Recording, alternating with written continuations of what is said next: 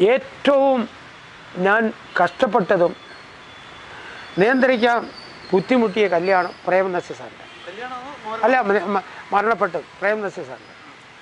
അതിനെപ്പോലെ ഒരു സംഭവം നടന്നിട്ടില്ല. ഭയങ്കര ആൾ പിന്നെ അത് തീർന്നിട്ട് മദ്രാസിൽ ജയൻ ചേട്ടന്റെ. ജയൻ ചേട്ടന്റെ സംഭവം. കാരണം മൈലാ അവിടെ നിന്ന് മൈലാപ്പൂർ വരെ പോകണം ഫ്ലൈറ്റ്. അവിടെ നിന്നാണ് ഇതിൽ വരുന്നത്. ഞാൻ പലരും പറഞ്ഞിട്ടുണ്ട്. അതാണ് ഇപ്പോൾ ഏറ്റവും കൂടുതൽ ലക്ഷക്കണക്കിന് ആൾ കണ്ടത്. അതായത് ജയൻ ചേട്ടൻ. ജയൻ ചേട്ടൻ എല്ലാവർക്കും പ്രിയപ്പെട്ടവരാണ്. ആ നമ്മൾ പറഞ്ഞ് വിശ്വസിക്കണ്ട. കണ്ണനും ജയൻ ചേട്ടന്റെ അനിയന്റെ മക്കളെല്ലാമായിട്ട് ഞാൻ ഇപ്പോഴും വലിയ കമ്പനിയാണ്. അവർക്ക് എന്നോട് വലിയ കാര്യമാണ്. സോമനെ കേട്ടിട്ടുണ്ടോ? ജയൻ ചേട്ടന്റെ അനിയൻ. അദ്ദേഹത്തിന്റെ പടത്തിൽ കൊണ്ടുവന്നവൻ ഞാനും ശശികുമാർ സാറാണ് എല്ലാം ഞാൻ തന്നെയാന്ന് പറയുന്നത് നമ്മളിപ്പോൾ ജയസൂര്യെ പറ്റി ഞാനൊന്നുമല്ല പറയുന്നത്. നമ്മൾ ചെയ്ത കാര്യം പറയണം. അവർക്ക് വേണ്ടി ശല്യമല്ല പറയുന്നത്. അപ്പോൾ ഇതെല്ലാം ചെയ്യുമ്പോൾ അവർ നമ്മൾ തിരിഞ്ഞു നോക്കാത്തതിലുള്ള സങ്കടമാണ് പറയുന്നത്. പ്രേം നസീസാറിനെ പോലെ വിനയം ഇന്ന് ലോകത്ത് ഒരു ചിത്രത്തിലും ഇല്ല.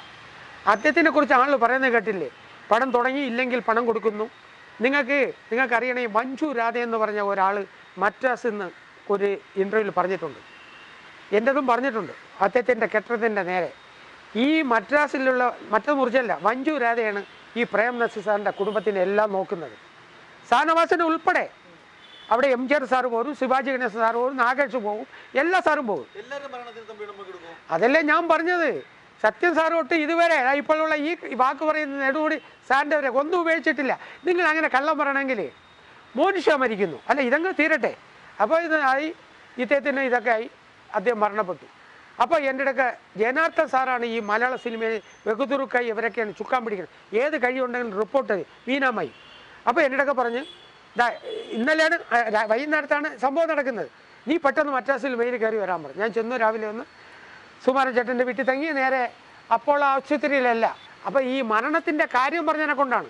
രണ്ടാമത് നസീസാറിന്റെ കാര്യം കഴിഞ്ഞാൽ പിന്നെ ഉള്ളത് ജയൻ ചേട്ടന്റെ മരണത്തിന്റെ ആൾക്കൂട്ടം ഇതാണ് അതിനും തമ്പി പെട്ടണക്ക് പാട് വേറൊന്നുമില്ല. പിന്നെ മോനിഷ അറിയാം അത് ഞാനല്ലേ ആശാനെ കൊണ്ടുപോയി പാടി?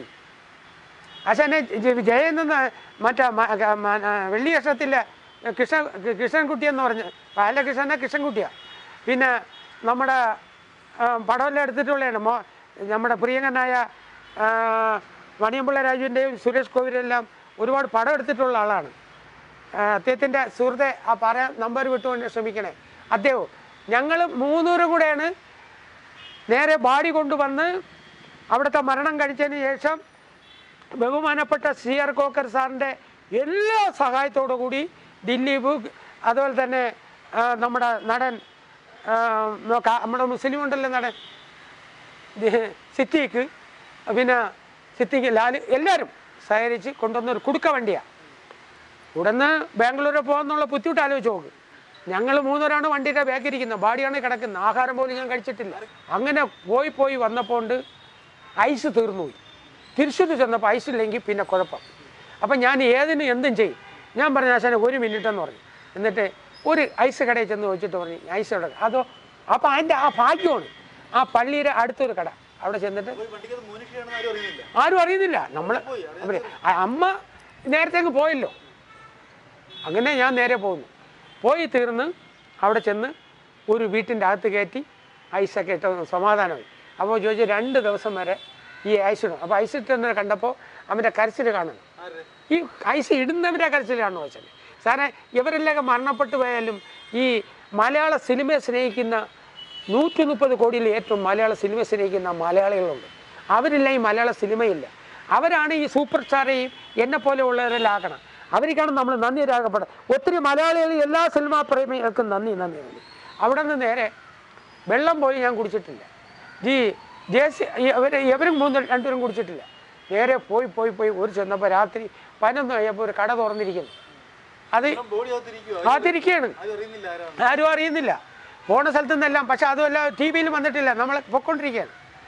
അപ്പോൾ അവിടെ ചെന്നപ്പോൾ തന്നെ ചെല്ലുന്നു മോഹൻലാലും ഇവിടെ മലയാള സിനിമയിലുള്ള എല്ലാവരും അവിടെ ഫാളിങ്ങാണ്. ബാംഗ്ലൂർ ഞാൻ ഈ പറഞ്ഞ പുള്ളിയാണ് മെയിനായിട്ട് കൂടുതൽ നിന്നത്. അവിടെ ചെന്ന് രാത്രി അല്ല ഒരുപാട് പ്രതിസന്ധി തീർന്നു. വന്ന കൂട്ടത്തിൽ വണ്ടിക്ക് കാറ്റൊന്ന് കുറഞ്ഞു. ഒന്നെ പമ്പിൽ കയറ്റി പെട്രോൾ അടിച്ച് കാറ്റ് നിറച്ചിട്ട് വീണ്ടും വിടയാണ് അപ്പം നമ്മളൊന്ന് ആലോചിച്ച് നോക്കണം. നമ്മളെ ദുഃഖങ്ങൾ തമ്പീരെ ദുഃഖങ്ങൾ ഒന്ന് ആലോചിക്കണം. ഇവരെയും ദുഃഖങ്ങൾ. നേരെ അവിടെ ചെന്നപ്പോൾ ഉണ്ട്. അവിടുത്തെ അന്നത്തെ മുഖ്യമന്ത്രി ഒരു വലിയ പേര് പറയും. അദ്ദേഹം പട്ടാളവും ആൾക്കാരോട്ട് ഈ കുട്ടിയുടെ വീട് നിറഞ്ഞു കിടക്കുകയാണ്.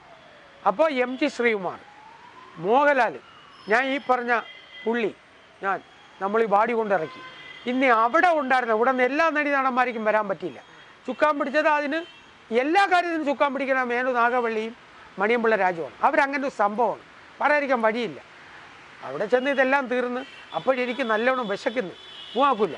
അവസാനം പോയപ്പോൾ ഉണ്ട് നമ്മുടെ മേനക സുരേഷും ഇവരും പറഞ്ഞ് തീർത്തിട്ട് പോയാൽ മതി. ഈ ബാഡി കത്തിക്കുന്നില്ലേ? അവിടെ ജവാന്മാരുടെ ഇതിൽ വെടിവെച്ചനല്ലേ അല്ലേ അവസാനം ചെന്നിട്ട് ആ കൈ കൊണ്ട് എനിക്ക് തന്നെ ഈ വാടി പൊക്കി അവിടെ വയ്ക്കാനുള്ള ഭാഗ്യം ഉണ്ടായി. പിന്നെ നിങ്ങൾ വിട്ടുപോയ ഒരാളുണ്ട് പത്മരാജൻ സാറ്. നിങ്ങൾ കാണോ? മോഹൻലാൽ മമ്മൂട്ടി സാറ് ഞാനും അവിടെ പോയി വയ്ക്കുന്നത് വാടി കൊണ്ടുവന്നത് ഹരിപ്പാട്ട് കൊണ്ടുപോയി. ഞങ്ങൾ എല്ലാവരും ഉണ്ടായിരുന്നു.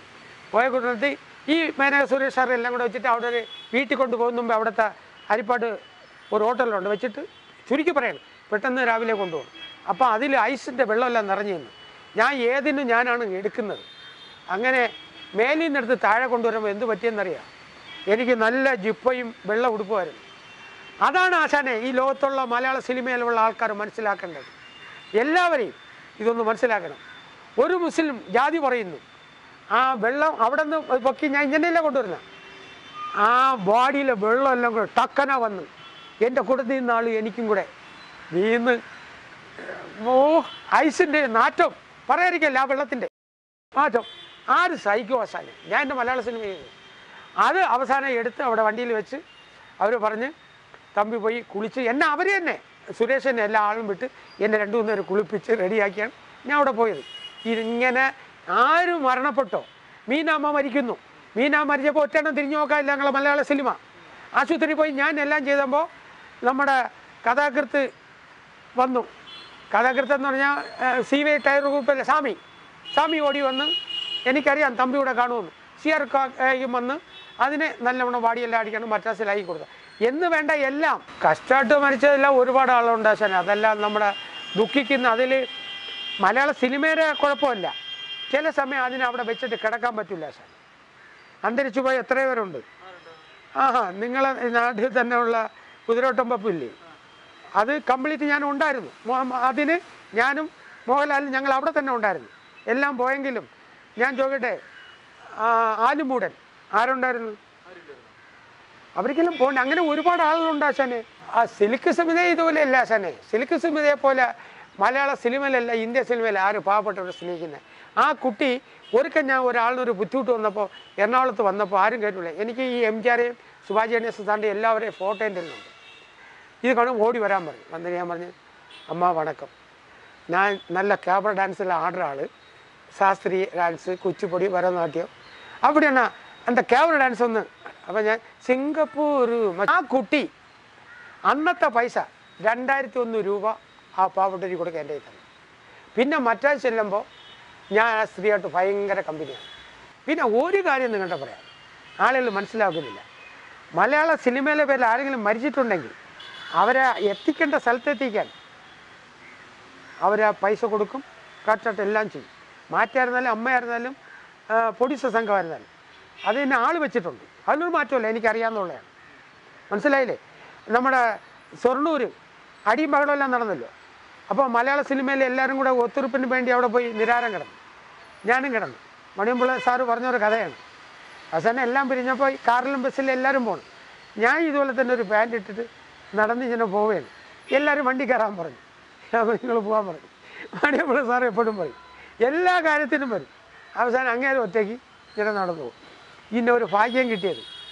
നമ്മൾ തമ്പുരാന്റെ കയ്യിരിക്കുന്നു അല്ലാതെ ഈ മനോ ഓത്താക്കട്ടെ നമ്മളിതെല്ലാം തീരുമ്പോൾ ആര് കാണുമോ എന്താണെന്ന് ഒരു ഒരറിവില്ല. വേണ്ട ആരെങ്കിലും ഒരാൾ കാണുമല്ലോ. പിന്നെ ഞാൻ എപ്പോഴും എന്റെ സിസ്റ്ററാവിനെ വിളിക്കും. പിന്നെ ഞങ്ങൾ രതീഷിനെ കുറിച്ച് പറയാനുള്ളത് അൻപ് കൊടുത്ത് അൻപ് വാങ്ങണം. പുള്ളി ആരെയും അങ്ങനെ ബഹവിക്കില്ല പക്ഷേ സ്നേഹിക്കാൻ പറ്റിയ ആളാണ്. പുള്ളി വന്നാൽ ചിരിക്കണമെങ്കിൽ വായിക്കാത്ത അഞ്ചാറ് തുണി കയറ്റി വെക്കണം. വന്നു തുടങ്ങിയ ചിരിക്കാൻ നമ്മൾ നിന്നു കൊടുത്താൽ മതി. പിന്നെ ഒറ്റ സങ്കടമുണ്ട്. ആ പുള്ളിയുടെ മക്കൾ ഇത് പടത്തിൽ വരാത്തത്. വന്നിട്ട് രക്ഷപ്പെട്ടില്ലല്ലോ. എന്റെ അച്ഛൻ അതിനേക്കാൾ സ്വല്ല നമ്മുടെ സോമൻ ചേട്ടൻ. സോമൻ ചേട്ടന്റെ മരണത്തിനെ കുറിച്ച് എനിക്കറിയാം ഞാൻ ഏറ്റവും രണ്ടാമത് ദുഃഖിച്ച സോമൻ ചേട്ടന്റെ മരണമാണ്. അന്ന് നിങ്ങളതൊന്നും കാണുന്നില്ല. എല്ലാവരും നിൽക്കുക വേണം ഞാൻ ബാഡിയെല്ലാം കൊണ്ടുവന്ന് ഇറങ്ങുമ്പോൾ അദ്ദേഹത്തിന്റെ വീട്ടിലെ മരത്തിൽ ആൾ കയറി ഒടിഞ്ഞു വന്ന് വീഴുന്നത്. എത്ര എണ്ണത്തിന് ആ കൂട്ടത്തിൽ നിന്ന് ഞാൻ രക്ഷപ്പെടുത്തിയെന്നറിയോ? അവർക്ക് പറ്റിപ്പോയ അബദ്ധം. ഓമൻ ചേട്ടൻ മരിക്കുമ്പോൾ മൈക്കിൽ കൂടി അവിടുത്തെ പഞ്ചായത്തിൽ എല്ലാവരും കൂടെ പറഞ്ഞു മരണപ്പെട്ടു എന്ന് പറഞ്ഞ് അവിടുത്തെ ആളെല്ലാം കൂടി കൂടി. ജനത്തിനെ പിടിച്ചു വയ്ക്കാൻ വയ്യ. ഞാൻ ഓടിച്ചെന്ന് ഈ മൈക്ക് മേടിച്ചിട്ട് മരം മുകളിൽ നിന്ന് ഒടിഞ്ഞു വീന്നിരിക്കുകയാണ് അങ്ങോട്ട് ആരും പോകരുത് പല ആൾക്കാർ ചുമ്മാ മരണപ്പെട്ടെന്ന് വരെ പറയാം ആരും മരണപ്പെട്ടില്ല. മാറി. അവരെല്ലാം ഇഷ്ടപ്പെടുത്തി. അതാരെന്നറിയാം എന്നെക്കുറിച്ച് പറഞ്ഞിരിക്കുന്ന ക്യാപ്റ്റൻ രാജു സാർ. അങ്ങനെ പോലൊരു ജീവിതത്തിലൊരു മലയാള സിനിമയിൽ ഒരുത്തനെ കണ്ടെത്താൻ ഭയങ്കര ബുദ്ധിമുട്ടെന്ന് പറഞ്ഞതാണ്. അങ്ങനെ ഒത്തിരി കാര്യങ്ങൾ എല്ലാവരായിരുന്നാലും പിന്നെ ഊർവശി ഊർവശിയമ്മ സഹോദരി കൽപ്പന മരിക്കുമ്പോൾ നിങ്ങൾ ചോദിച്ചു നോക്കണം. ഉടനെ അവിടെ ചെന്ന്